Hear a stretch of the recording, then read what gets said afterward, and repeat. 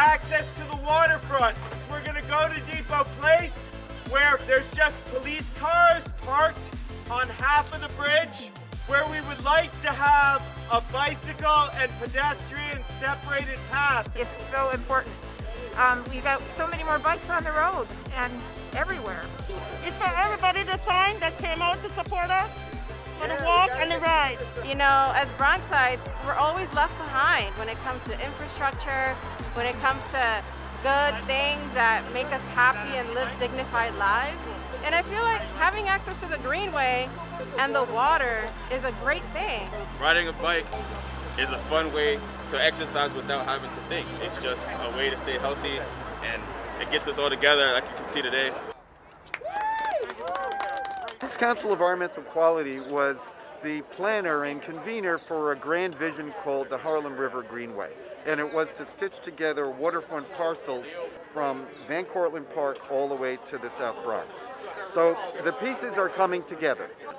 The State Department of Transportation, though, modified their highway plan along the parkway, the Major Deegan Expressway, to restrict pedestrian and bicycle access.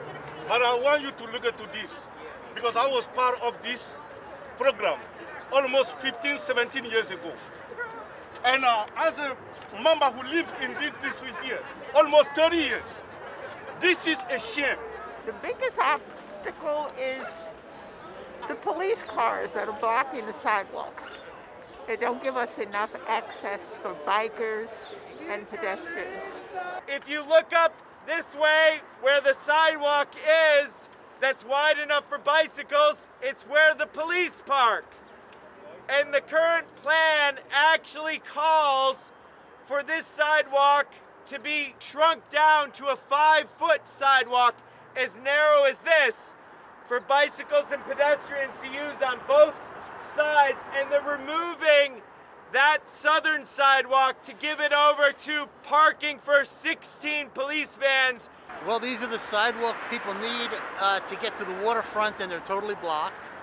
It looks like a police parking lot or a construction zone and it doesn't look welcoming or friendly to a park. And we have a whole neighborhood of people here that should be using the waterfront to enjoy it.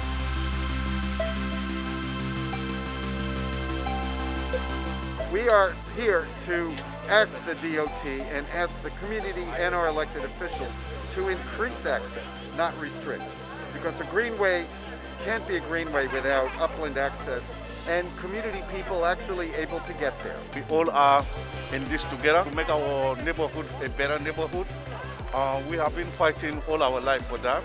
And I think this is one of the examples where we show the, the people everything about Bronx is not just negative. We do a lot of you know biking along the Bronx River, and you know we are very interested to discover the northern part that we don't have much access to. Um, so it's really out of curiosity and also to advocate for you know more green space along the river. It's something that is good for mental health, for emotional well-being. It lifts up your mood. So this is you know, long overdue, and I'm really happy that this movement is going forward and that all of the young people are here advocating and fighting for the changes that they'd like to see at the street level.